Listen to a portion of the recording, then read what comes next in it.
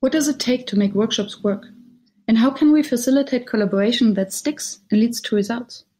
My name is Myriam Hadnes, and with the Workshops Work podcast, it's my mission to help you to make your workshops work. Today with me on the show is Tamara Eberle. And we cut the episode in two parts, where in part one, we explore the topic of serious games and its difference to gamification.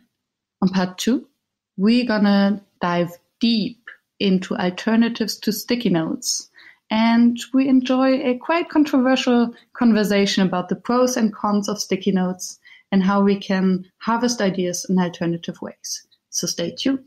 And by the way, if you don't have pen and paper at hand, you can simply visit workshops.work, search for episode 40, and download my notes. So enjoy the show. Hello, Tamara. Hi. I am super excited to talking to you today after having seen your blog posts on how to get rid of post-it notes how to avoid the tyranny of sticky notes i just loved it and i couldn't resist but reaching out to you to learn more and through our pre-conversations and even now before we turned on the mic we came up with a million other topics that we could explore. and I always thought I was a random idea generator um, until I met you. You are a certified professional facilitator. Mm-hmm. When did you start calling yourself a facilitator? What's your story? Yeah, well, I entered the world of facilitation in the early 2000s and I came at it through conflict resolution and mediation. Mm-hmm. I was mm. really, really interested in that field. I was actually in the stages of moving towards being a trained mediator and working around conflict and dispute resolution. And someone had said to me, Hey, why don't you check out this course on facilitation? It also is a practice that can help with conflict resolution, especially preventatively, but also in the moment, and you might like it. So I did that and I never looked back. I totally felt at home in the role, and I absolutely love the challenges that come with group dynamics. And I also really like the potential impact that well designed group processes have. So mm. that's kind of how I fell into it. It's interesting that you're mentioning the conflict resolution. When I think conflict and I think games and this playful way how you design your workshops, on the one hand, I think it's a total opposite. On the other hand, I believe that it's the perfect combination. So, what yeah. is it about games that attracted a conflict resolution specialist or mediator? Well, I mean, that was back in the day when that was my kind of specialty or my focus. And then, of course, over the years, I've honed my skills as a facilitator. And today, I'm primarily focused around the areas of strategy, innovation, and creative problem solving. But the reality is that in everyone's facilitation practice, we are always being prepared or designing for some potential difference mm. of a viewpoint, a perspective, of opinion, uh, difference of roles, where there could be some kind of conflict or contradiction in what's happening. And of course, that's often why we're brought into the space in the first place. So, whether we are doing creative problem solving, developing a vision, or whether we're doing public participation and engagement, you know, all of us as facilitators inevitably are addressing un- potential or existing underlying conflicts. Mm when we stumbled into the world of games and serious business game design, one of the things that certainly is quite appealing and is you know a unique quality that well designed business games bring is that they create a safe space mm-hmm. for people to experiment, for people to have rich dialogue, to work through complex or wicked problems, and to bring their individual perspectives to the mm-hmm. table. So, the world that you create when you create the game play when you step into that world, you suspend reality for a short period of time. I mean, it's part of the kind of social agreement that we have around games, right? We're now going to step into this castle or this world of dinosaurs or this cycle of change with boats floating around it. Mm-hmm. And we're going to be in that space for a little while. And it's a safe place for all of us to bring our ideas and our, and our thoughts together. So I think that's one of the things that I really not just theoretically, because it is sort of can be demonstrated through research and through theory mm-hmm. that games do this, but also just through practice and watching it happen. Yeah. We've absolutely seen that all the different games that we've played with our clients, it levels the power playing field, right? Where there's different roles. Well, this is a game about creativity. And so the marketing person is going to be the best at this. Well, that's not necessarily how it happens, right? Yeah. When you step into mm-hmm. the gameplay, everything shifts and changes. And it, mm-hmm. it really allows more like all voices to come forward because after all, it's safe. You're just playing a game. So, yeah.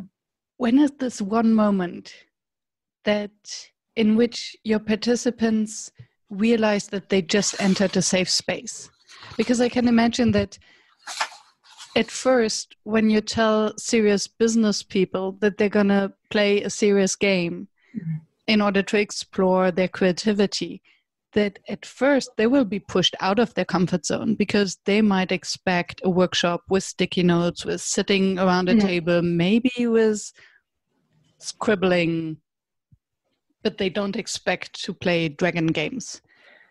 Yeah. So when do they realize that it's actually safe to be there? Yeah. Well, I think just to step back before that moment for a second, when you're designing any session, of course, we have to be very attentive to who is in the room, whatever process you're choosing to use, will that process, will they allow themselves into that process? Mm-hmm. Or are you actually going to get so much resistance that there's no point, right? Like you might think it's a great process and it works mm-hmm. with other groups, but you have to be attentive to, you know, ensuring there's a balance between pushing people out of their comfort zone and actually getting so much resistance that you're not being productive. Mm-hmm. Uh, so games are not for every group, and we only use them when it's appropriate, when the client sees that that it will have results and it will be effective. I would just be curious who is it for and what kind of problems can you then solve with a game? But I didn't mean to interrupt you. No, that's okay. Well, I think there's, I've seen well designed uh, serious games, organizational games on almost every topic. Mm-hmm. So it, it could be a game on culture, developing culture. It could be a game on innovation and creative problem solving. You could have one on conflict resolution. You can have one on strategy. There's uh, there's one uh, I just got a tour of in Sweden, which is all about kind of managing the IT process. So you know, if you can, if you've got the topic, you can you know create a game around it mm. who is it for well just like any process design that we do uh, we're thinking about the who and mm-hmm. who might this be useful for. And different games might have different um, intentions or different audiences that it's designed for. We have a game which is an innovation game and uh, called innovator dinosaur. And that game is basically for any group that wants to shake up their thinking and generate new and different ideas.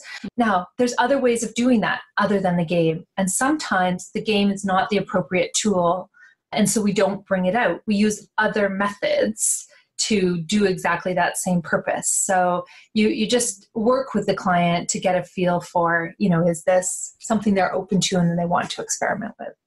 What would be your testing the water question to find out whether it's a game client or non game client? Yeah, I think you just go straight to it, right? Just be direct and say, okay, we've got different options. Um, I always try and give my my clients options, especially if they're they're new clients and we're just getting to know each other and kind of building that trusting relationship is just to say, okay, here's a variety of things that we can do. Having it right there physically in front of you so they can actually see it and see the benefits of it mm-hmm. makes a really big difference for sure. And they'll tell you right away, you know, this will work or this won't work. And I have some clients who are like, oh my God, this is so exciting. I totally want to play this game. Mm-hmm. And others who say, you know what, we're not in the mood. Uh, this is not kind of where we want to go. The more trusting my relationship is with them, the more open they are. Mm-hmm. But I've seen, for example, you know, people think, oh, well, that's all, games are fine for frontline staff and employees and maybe some community groups, but the C suite would never want to play a mm-hmm. game. I mean, the VPs and the directors and that, mm-hmm. they're not, you know, that's not appropriate. That is, I call total BS on that because I've been, you know, on the 50th floor of Bay Street Towers in downtown Toronto, where there's all these like high powered lawyers, and we've had games out uh, on the table. And, you know, I walk into the room and there's all these suits and they're playing with the dinosaurs.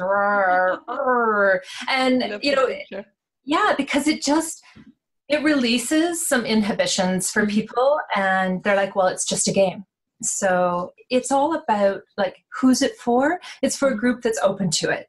But that's like any process, right? If you're a facilitator and you use a lot of improv or you use a lot of visual stuff or you use a lot of movement in the room, if the group's not open to it, you're not going to get the kind of participation. And it reminds me of having permission to speak about something different than your own problem. So you can kind of put your focus on the game and then speak to the game instead of pointing at the explicit problem that you're working on. And this might make it easier to actually address it and to solve it. Yeah, that's a really good point. And that's part of the suspending reality. So when you're stepping into the gameplay, it can allow you to step outside of the direct issues that you might be mm. experiencing in your work. And it also helps you to get kind of some fresh perspective because you're not bogged down in the minutia of your particular work situation. Mm. You're really, really able to learn through that process. But I want to point out something about the types of games that are mm. kind of available because I think this is a really important distinction and it gives you some choice. So there are essentially, if you were to categorize them into a couple of types, there's learning games and there's doing games. Mm-hmm. And then there's games, there's a lot of them which kind of have some sort of combination mm-hmm. of those things, right? So you will see that the market is dominated by um, learning games. Now, this is especially common in kind of the L&D sector, human mm. resources, where they're using a lot of digital learning quote unquote games. Everything is um, gamified. Yeah, everything is gamified. And mm. for me, there's actually a distinction between gamification of a process and a serious organizational or business game. So mm-hmm. that's kind of a that's a little bit of another question. But there's a lot of learning games, and of course there are also you know the virtual or digital versions of things, and then there's the board games. And our interest is in the tangible concrete i can touch this we can move around the board or mm-hmm. move around the space. Uh, that's sort of the type of game that we focus on is games that bring people together through real physical space and time and not just the the virtual digital. There's lots of people who are experts in the virtual and digital and they do a beautiful job of this so, mm. okay, back to there's learning games. So, learning games is where you usually have a scenario, you have different roles, and all of these have been created or constructed for you. So, mm. you're now going to be Jane or Mads, or you're playing with a theme or a metaphor mm-hmm. or a scenario that's been given to you. So, it's understandable to you because it's mm-hmm. about change or it's about strategy, but it's not your actual thing. So, so it's more like a role play. It can be, yeah. I mean, you might be role play is like a mechanic within a game. So okay. there could be role play within it, but it's basically scenario, mm-hmm. right? They've yeah. created a world for you. Then going back to my spectrum, there's also doing games. Mm-hmm. So, you know, you were saying, well, with some games, you are not dealing with your own real stuff, and that allows a really safe place to work through and talk about, for example, conflict in the workplace or a mm-hmm. change or transformation process. Absolutely. I have a client I was just talking to yesterday, and we are talking about exploring the cycle of change with her team that's just going through and starting a significant organizational shift and we were saying, do we need to play this as a scenario or do we need to go through this with their real situation? Mm-hmm. And she mm. said, they're not feeling safe enough. They're feeling very vulnerable. Let's go through it as a scenario. Beautiful. So then we play it as that. The doing games, there are fewer. Mm-hmm. There are fewer doing games. And this is where it can be really helpful when people are thinking about how do I get rid of sticky notes? to go back mm-hmm. to our yeah, yeah. tyranny of sticky notes. Sticky notes are often used in processes where you're going to produce something. Literally. Right? Sticky yeah. notes. You're going to piles produce, of them. Yeah, you're going to produce garbage recycling, but where you're going to actually something spits at the other end. Like we now have a list of program elements, or we now have new ideas, or we've mapped a process. Mm-hmm. And so something's coming out the other side. So doing games are this is where they come in and mm-hmm. where they ha- can actually help you replace processes where you might otherwise have used sticky notes. Okay, so I had mentioned, I'll just speak to this one example because our Innovator Dinosaur game is a doing game. Now, it's all about creative and critical thinking. It helps you generate new and different ideas and move those to action. You will learn through the gameplay creative and critical thinking techniques. Mm-hmm. That's a secondary kind of benefit. But the primary benefit is that you're actually using real work opportunities and challenges, and the output of the game is real ideas, projects, and initiatives that you can then implement in your workplace and an actual action plan. So it's a workshop with a kind of you know robust underlying methodology mm-hmm. but it's framed with a game so there are these are a little sometimes a little harder to design mm-hmm. which is why a lot of people focus on the learning games mm-hmm. and why mm-hmm. there's so many.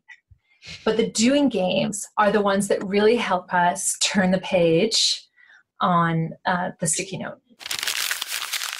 I'm Rain. I'm from Experiential Learning. We facilitate programs for executives and we use SessionLab because it's a very easy tool to design a meeting easy to share with your colleagues and get a script for the meeting in no time without too much hassle. So visit sessionlab.com and find out more yourself. Yeah. So I have two questions related to that. One is can these doing games stand by themselves or do they always need you or another facilitator to guide the group through them? And how do you actually then capture the results if you don't have sticky notes? Oh my God. ah, no sticky notes. No sticky notes. Panic. Maybe just a sheet of paper. so, okay. Do you always need a facilitator? Let me start with that. It totally depends on how the game is designed. Mm-hmm. Okay, so we've designed games where of course, it's very helpful to have a facilitator. I mean, our practice is a practice of facilitation, of group workshops. So, naturally for us, that's where we gravitate towards. Mm-hmm. However, there are lots of games. There's a, a great company in the UK called um, Focus Games, and they specialize in games, learning games for the healthcare sector. Mm. And uh, they might use a bit of a train the trainer model. It might be about, you know, a game to support nurses in learning how to be really effective in the ward or something like that. Or it might be around how to promote hand washing in uh, hospitals. Mm-hmm. So they have different games that are good for that. But a lot of their games can just be played So you could just grab the box, open it up, and whoever's around the table mm. It doesn't need to be facilitated. So lots and lots of examples where it's facilitation is not required. The group is self-empowered. But it's also the case that I think there is an important role for facilitation in some of the, the games because the games are just a tool, just mm-hmm. like any of our tools as facilitators. And you can choose to use that tool instead of another process. But it is just your process in a game mm-hmm. Right? So it can still require facilitation. We have tried to, with some of our games, we've designed We've designed games for clients, so they then go off and facilitate them or lead them, use them with their teams. Some of our games, once we've trained people on them, we have clients who own multiple copies and they use them in lots of different ways. So they might just sit down with one team and play. So once they know how to play, it's mm-hmm. fine. There's a wonderful new game out of it's a Norway Austria co-production called Lord McGroundwork's Castle of Teams. I love this game. We've used it with our clients. I love it. It's so good and it's all about kind of developing high performing teams and learning the key elements required for those teams.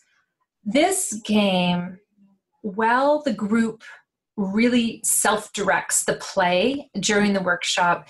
It requires facilitation for the reflection, especially mm. because you're going to go really deep and you need that's really where our role shines as facilitators mm. is in that mm. deeper dialogue and reflective piece to help the group get the most out of it. So, you know, range of mm. possibilities. I was just thinking that when you spoke about our role as facilitators, it's also about holding the safe space because obviously the game allows to have the safe space to dive into this new world, but you still, I think, depending on how deep you want the group to go, you still need someone to hold that space and to make sure that everyone kind of respects the yeah. rules is maybe too much that you have the right dynamic in the group maybe yeah, absolutely. I mean, we still have, whether you're using a game tool for a process or whether you're doing improv or whether you're doing a sticky note workshop or whether you're doing an agile process, whatever process you're doing, I mean, we have the same role to play. Mm-hmm. But it is it has been very interesting to me. I did have to do a shift in my facilitation. I had to consciously let go of a certain level of intervention, if you will. Mm. When people start playing, they want to be left alone. Mm. They don't want to be interrupted. Yeah. They don't want you to go, so when you made that move, what were you thinking? And how does that affect your blah, blah? They're like, back off. I have got to get around this board or I need to achieve this many resources and I still haven't got my little uh, gold cube that I've been searching for. You know, they're really immersed and there's a flow because the game is a structure. It's not just gamification of an element of your process. It is a process from beginning to end. It has a start, it has a finish, it has a way to win, mm-hmm. and it has challenges throughout. And people want to move through that. And so I do find that short of making sure the group's not going down a rabbit hole or mm-hmm. answering questions around instructions, my facilitation has to I have to step back a bit. And I've, I've, it's been an interesting kind of practice to, to watch that happen. The group is way, way more empowered to drive the process themselves. And I love this paradox of professional facilitation going hand in hand with letting go. So the less you do, I have the impression as a facilitator, the more you show professionalism because your role shifts into just holding the space and giving responsibility back to the group. And yeah. I have the impression that they will only take the space when they feel that they can trust you and trust the process. Yeah. So it yeah. seems as if the professional facilitator doesn't do much. Actually. uh oh, don't say that out loud. yeah. But, you know, it's funny that you say that because I'm going to circle us back to the sticky note thing and my campaign to challenge us as a community of facilitators, to challenge us as a community of facilitators to rethink and try and experiment with new and different tools because you mentioned well wait a minute as facilitators you know what are we doing like in a game for example we're backing off a little bit mm-hmm. but and you know what role are we really playing? But i started this journey of wanting to push and challenge myself to innovate the tools that we use. Because i walked into a room one day we hadn't even started the session and one of my clients was already writing her ideas on the sticky note. Awesome. Well then what the hell am i doing there? Mm-hmm. i have done nothing to provoke or stimulate challenge her thinking inspire her or you know even to to get her to work collaboratively. Because in her mind i'd worked with her for so long she's already decided this is the process. I have an idea in my head. Idea goes on the sticky note sticky note goes on the wall. We match it up with other people and we're done. Uh, we vote. Eh, we yeah and i just thought oh hold on a minute. I'm not being helpful and that's when i thought i need to look for new ways to change two things. So, kind of two of my goals around the challenging ourselves around tools are I want to change the experience, right? People talk about sticky note fatigue and brainstorming, creative problem solving, collaboration. The dominant image we see on the internet is like walls of sticky notes with people staring mm-hmm. at them. I'm like, how do we change that dominant image so that when people walk into the room, they they say, well, wait a minute, this is different. And that moment is really important, right? That moment helps them to shift, immediately begin to shift their set mind. And their set mind has been set by the kind of the also can be set by the tools that we provide. The other thing I want to change and affect which I think is our job as facilitators, is to have an effect on the cognitive process. Mm-hmm. We're not just moving pieces around a board. We're not just shuffling paper. We're not just timekeepers and, you know, who's next and who wants to say something now and here's your process, write this down, put it up. We're not just kind of guiding people through a process. We're actually there to stimulate and affect their thinking. So I'll give you an example of which I, I quite inspired by. This is there's a creative agency in Montreal, Canada. It's called Sid Lee, and they actually are part owners in Cirque du Soleil, which is you know one of this mm-hmm. incredibly creative and exciting human circus. And they have a meeting room in their space that has a crooked low door to enter.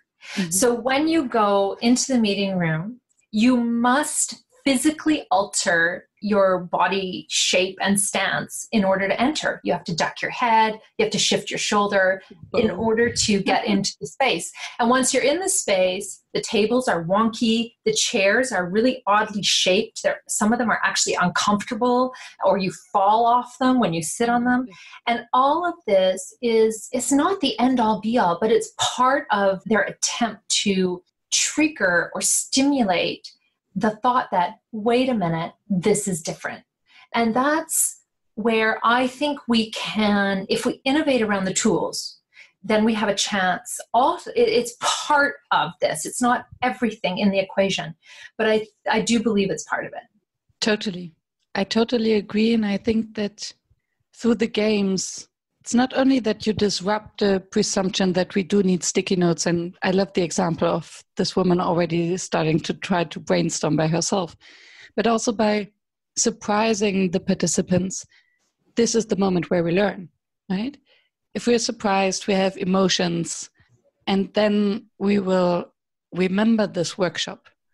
Because if if all the workshops end up to be the same, us using sticky notes, same structures, same processes, same discussion, same arguments, then Yeah. one workshop will just be like the other.